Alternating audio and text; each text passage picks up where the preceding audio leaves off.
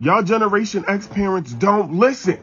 Who raised y'all? Are you sure you really want us to answer that question? Because it's kind of a loaded one. Raised is kind of a, I don't know, a very loose term. We raised ourselves, basically. Sure, we had boomers in the mix that were raising us, but that's kind of a stretch. I mean, I don't know that you could really call it raising anything other than hell. They raised a stick at us, they raised their voices. Our parents didn't give a flying fig about anything but themselves. The only thing they passed down to us was the I don't give a fuck gene. Nobody told us what to do, when to do it, how to do it, or how often to do it. So we just had to make the shit up ourselves. Seriously, nobody told us when to eat, when to sleep, how to do laundry. You want clean clothes? You figure it out. You're hungry? You figure that out too. And here we are 50 years later, still flying by the seat of our pants. And because of that, we don't like to be told what to do. So if you think there's any chance that we're gonna take orders from our kids, think again. And when we get into those nursing homes, holy shit, they better watch out. We've been feral since we were little, and we're gonna be feral until we die. I mean, if we wanna be honest, Toys R Us raised us. And then they told us that we didn't have to grow up, and we took that jingle